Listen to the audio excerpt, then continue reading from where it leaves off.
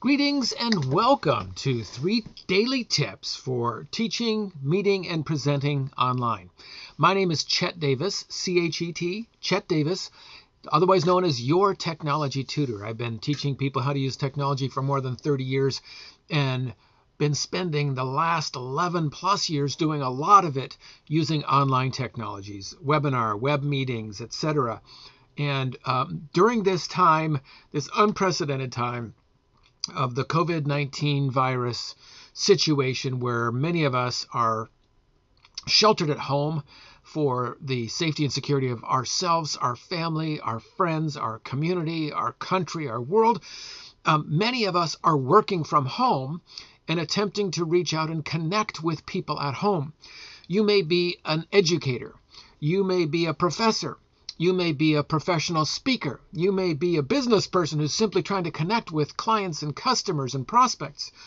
You may be um, a coach. You may be an expert, an author. There's so many opportunities we have available to us that we didn't have in the past for actually connecting and working with other people.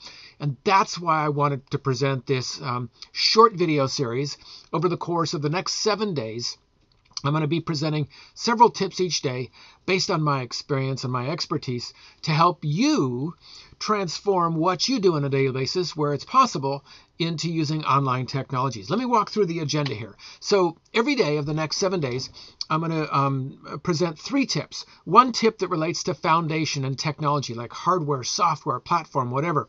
Second tip, a best practice that that I have uh, come to believe that I have come to find works well and or other professionals using online technologies to reach out, to teach, to connect, to communicate, to present have found best practices well. And thirdly, um, supporting your presentation, supporting your online meeting, your online connection, whether it's a slide deck from Keynote or from PowerPoint, whether it's some allied technology like maybe ways to integrate.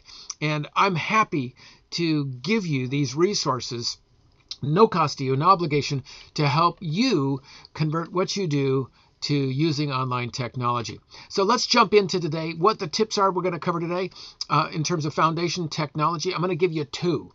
Uh, first of all, identifying the proper platform or service the second is your ISP, and we're going to cover what that is in a moment. I'm going to give you a tip. It's an acronym that stands for your Internet Service Provider. Some things people are already aware of, some people they're surprised about. Secondly, on schedule. More of that in a moment. Lastly, support slides technology. I'm going to talk about what I believe is the terribly important, simple step of having a welcome slide like I had today. All right, first of all, platforms. What are we talking about here? So, in terms of platforms, what I'm talking about is which tool is going to serve your purpose in the best way possible. To me, it's like having a garage. Technology is like tools. I don't teach technology so you can learn technology for the sake of technology. I help people understand, utilize technology, master technology, get comfortable with technology, get technology done because it's a tool that can help you achieve a, re- a result that can, that can help you achieve a goal. That's what technology is all about. So you got to select the proper platform for the job. If you're doing one-to-one connections, maybe it's interpersonal, maybe it's connecting with a family member, a friend across town or across the world. Maybe you're connecting with a client or a prospect, an existing client, maybe somebody who wants to do business with you, or somebody that you had who contacted you in the past, and you want to check with them to see if they are ready to do business now. The platforms, and I'm going to go three Skype may be one of the more popular ones. You may know Skype is a client to client. You can do multiple people on Skype. Most people use it one to one. Skype was purchased by Microsoft a few years ago. It's still free for those connecting Skype to Skype. In other words, if you have Skype on your computer and your the recipient, the person you're connecting with has Skype on their on their phone, on their tablet, on their laptop, on their desktop computer, and they have a Skype account, that's free. There's no cost. It's like just using the phone with no phone charges. Skype Connect to Connect. You can um, add money to your Skype account and call landlines. In other words, call a landline or a mobile line, a cell line, um, that doesn't go into the Skype app and it's just going to show up like a phone call, that does cost money. It's nominal, but know that it does. If you're doing Skype to Skype, again, that's free. Another free resource is FaceTime. If your recipient has an Apple device, and if you have an Apple device, if you have an iPhone, and they have an iPhone, an iPad, a Mac, laptop, or desktop, FaceTime is an app, an application that's built into the device. It's included in the operating system, in the OS. And if it's been purchased in the last number of years, it's already there. If you're connecting to an elderly family member, for example, um, that may be your best route as long as they have an Apple device and you have an Apple device because it's there's no nothing to sign into, there's nothing to download, to install, what have you. It's just there. It's the easiest way to connect between two parties. Okay, FaceTime is what it's called. The last option I'm just going to mention briefly is Google Duo. Uh, that's Google's application and they have it available for both iOS for Apple iPhones, iPads, as well as Android, etc. devices. So Google Duo is also a one-to-one connecting tool. Okay, so that's that platform if you're one-to-one communications. If you're looking to have group engagement, like maybe team meetings, you're moving to uh, virtual meetings during this um, shelter-in-place time you may want to consider using one of these two apps. Now, group engagement it's going to be different than what I call like a presentation or a lecture in a lecture hall, or if you're a professional speaker, or if you're um, an online entrepreneur, a business person, you want to get your message out to a whole bunch of people at once with no engagement. It's it's more you're delivering with um, using different engaging tools online. Then I would recommend using one of these tools. Zoom meetings is one and the other is WebEx meetings. Now, both Zoom and WebEx have other tools. They have webinar tools. That's a different function. But if you are wanting more interaction, you want to see all the, the cameras, the webcams of all the participants. If you've got a small group, like maybe nine people, and you want to have a virtual meeting where everybody can see everybody else's faces, build community, then I would go with one of these tools. I prefer Zoom meetings over WebEx, but again, that's it's it's personal preference. I like their tools. They are becoming highly popular during this time, and many, many people are going to Zoom and using Zoom. It's a great resource. The third potential application is one to many. In other words, you are one person, you're communicating, you're getting your message out to many people. Maybe it's 50, maybe it's 150, maybe it's 2,000, whatever it is then most people who are doing that, that's your goal, are going to use a webinar platform. I've been using GoToWebinar for more than 10 years. company LogMeIn. They started with Citrix. Citrix sold it to LogMeIn. Citrix then went and opened up WebEx. Now, I am I've tried a number of different platforms. I am a huge proponent and a big fan of GoToWebinar. I don't have an affiliate link. I'm not going to make any money on any of these recommendations. I'm just giving you my honest assessment after using a bunch of different tools. I like GoToWebinar the best. Current GoToWebinar is not like the past. If you tried it a few years ago, you do not have to download an app to use it. It will work in a web browser on a computer, on a phone, on an iPad, on a tablet. So that is an option if you'd like to go that route.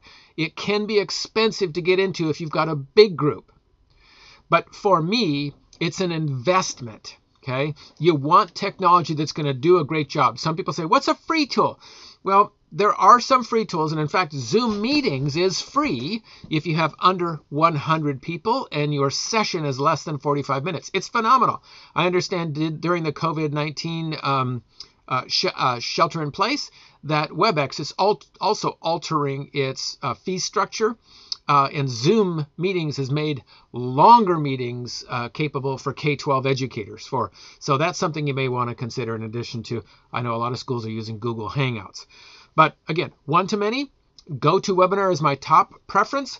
Zoom Webinar is my second. One of the reasons I love GoToWebinar, to me, it has the highest audio and video quality of any of the services that I've tested and used. Um, that is a huge deal for me. Um, it needs to be the end user experience. And if there's what we call latency, in other words, if your video is hanging up and like hiccuping and the audio is in out of sync with the video, a lot of people are going to tune out. And why we're doing this presentation across distance, we want to get our message across. We need to clearly communicate with each other.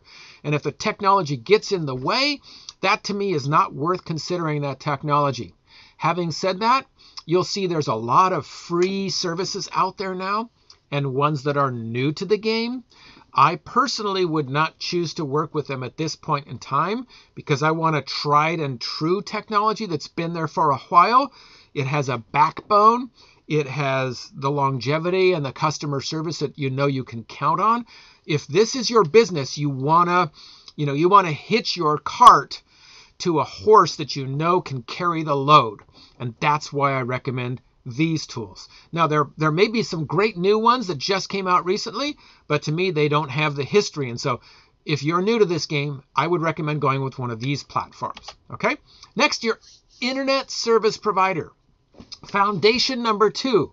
A lot of people think, okay, I've got internet. That's good, right? Well, maybe yes, maybe no. Here's what I'm talking about it's about bandwidth or speed, the speed of your internet. Chet, what are you talking about? I don't understand bandwidth. Okay, you don't have to understand it, but let me give you a simple analogy.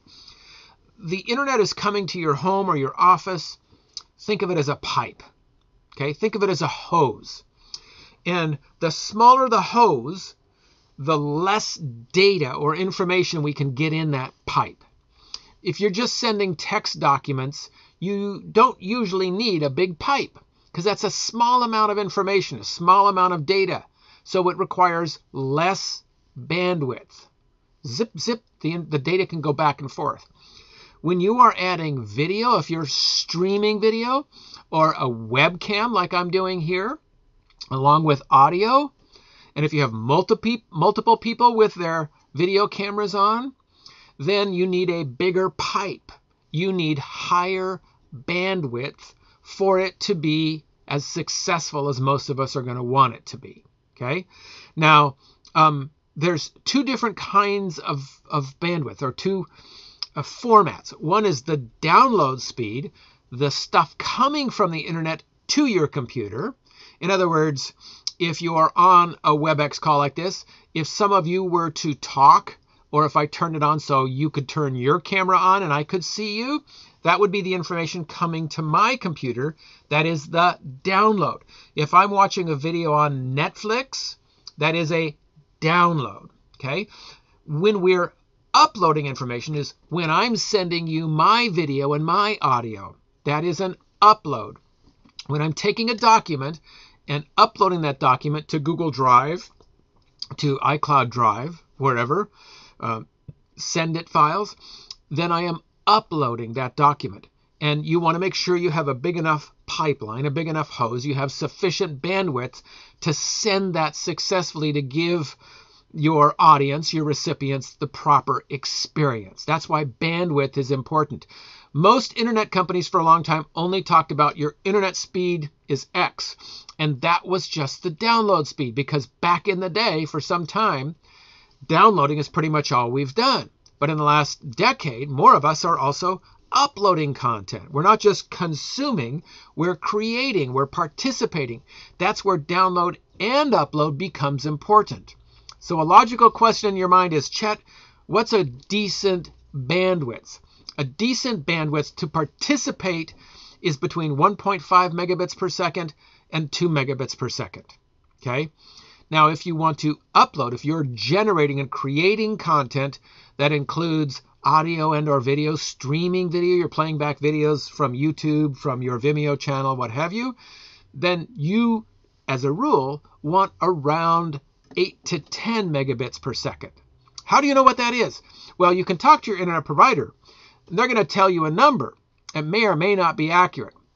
It's based, depending on the system you're using, with how many people in your community are also using the internet, if you're on a cable modem. Um, also, how many people in the household are using it. We're going to talk about that in a second. But let me show you this here. I'm going to open up this web browser here, and we're going to actually go to speed test, okay? Speedtest.net. Speedtest.net will test your home or office internet. So I just click go and watch what happens. So it's going to actually first test the download speed. So right now it is testing the download speed on my computer with my internet service provider. And it gets an average after, I think it is 30 seconds here. So I'm right around 359 megabits per second. Then it goes and tests the upload speed. You see, my upload speed is considerably less, considerably slower, considerably smaller than my download speed. That is common. That is probably very likely the case on yours. Now, I do pay extra for higher bandwidth. So right now, my download speed is 359 megabits per second. Recommendation is 2. So you can see I'm in a good place there. My upload speed is 11.3 megabits per second. Recommendation is between 8 and 10 to have a good signal. So I'm in a good place there as well.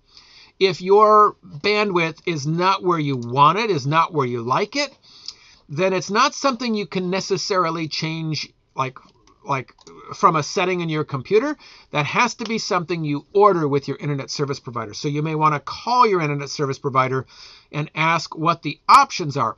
They may be able to upgrade you without coming out to your home or office. They may be able to flip a switch and charge you for an upgrade. That's up to you to consider, okay? Secondly is use a wired connection in your home. I know Wi-Fi is very useful. Wi-Fi is very common. Wi-Fi is something that many of us like to do because a laptop, I can go sit in the backyard. I can sit at my kitchen table. I can sit at my office desk here. I can also sit on the sofa. Um, and, and I do that. And I'm not saying don't do that, but if you are hosting a webinar, if you're participating, if you're joining, if you're in a webinar audience, it's not such a critical issue. But if you are hosting a webinar, strong recommendation is plug that Ethernet cable into your computer so you have a wired connection. Okay? It just ensures that you're going to have a strong signal. You likely know that your Wi Fi signal, the penetration in your home or office, is different in different rooms, unless you have what we call a mesh network that ensures you have uniformity of the signal across a wide area. Most of us don't have that in our home. We have a standard internet with maybe a single modem and a single router that spreads the Wi Fi across the household. Farther you go away from the router, the weaker the signal. Wi Fi is also affected by plaster and lath walls if you're in an older home.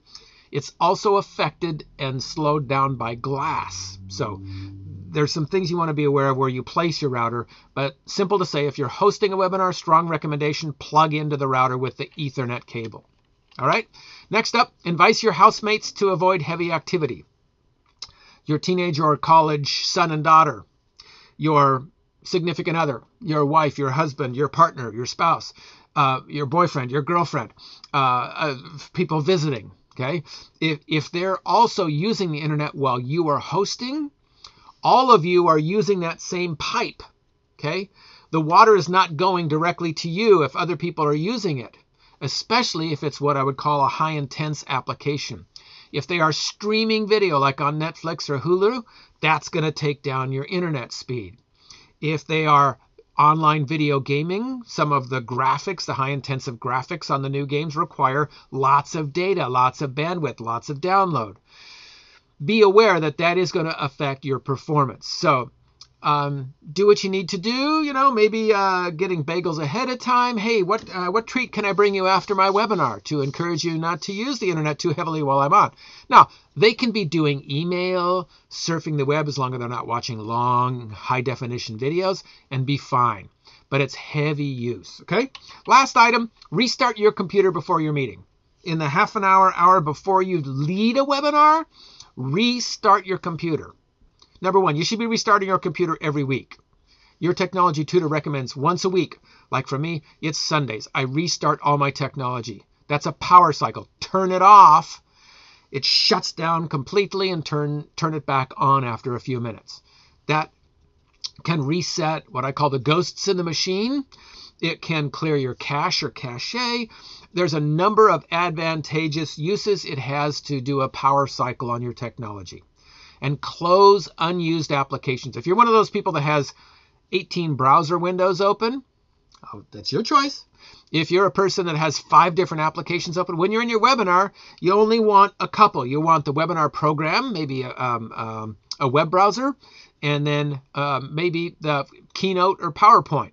Maybe that's it. If you're not going to use any other, um, you're not going to share any content, any additional data, that just allows your system resources to go towards doing the best job it can on the webinar. Okay? Now, if you have questions popping up by virtue of this content, go ahead and put them in the in the comment box below. I'm happy to respond to your questions.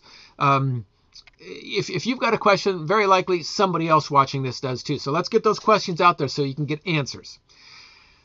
Number two, in terms of best practice, stay on schedule. SOS, stay on schedule. This may seem silly. You're like, well, Chet, of course I'm planning to stay on schedule. Yeah, but do it. Here's what I mean. I can tell you how many webinars I've joined over the last decade where I've logged on at the time they said it's going to start, and the person's not there for a minute, sometimes two or three minutes. And I'm like, is this even happening? I don't even know if this is going on. They may be having technical difficulties, and yes, I'm, um, what's the word? You know, I can forgive that.